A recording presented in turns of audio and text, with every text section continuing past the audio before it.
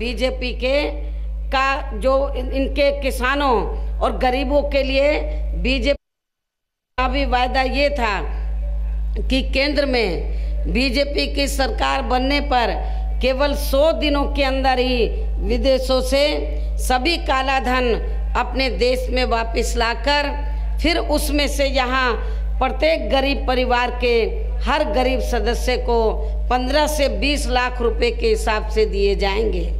ये भारतीय जनता पार्टी का पहला मुख्य चुनावी वायदा था। और इनका दूसरा मुख्य चुनावी वायदा ये था कि यहाँ कर्ज में डूबे किसानों का कर्जा भी माफ़ कर दिया जाएगा। ये इनका दूसरा मुख्य चुनावी वायदा था।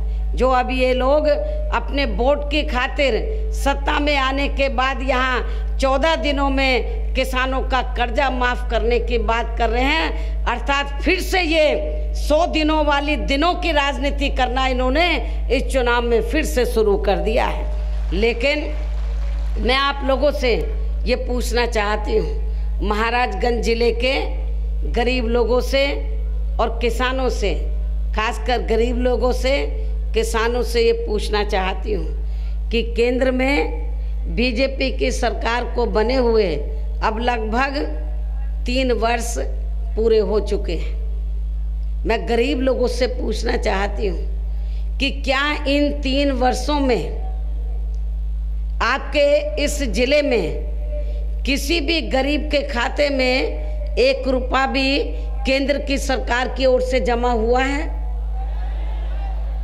मैं अपने किसान भाइयों से भी पूछना चाहती हूँ, क्या किसी भी एक किसान भाई का एक रुपए का भी कर्ज माफ़ हुआ है केंद्र की सरकार की ओर से।